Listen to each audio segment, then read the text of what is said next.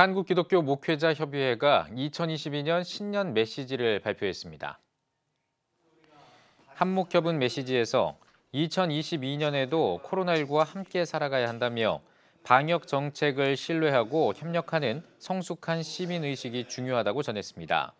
또 생태적 환경 윤리는 이제 일상에서 생활화해야 할 생존의 덕목이라면서 신학과 교회 현장 목회에서 충분히 반영해야 할 것이라고 강조했습니다.